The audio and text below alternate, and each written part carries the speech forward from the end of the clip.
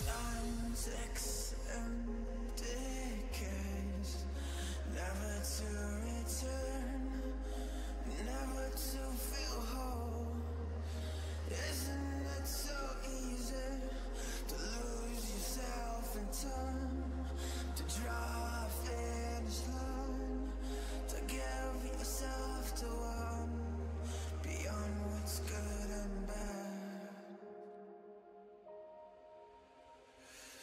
Kills me know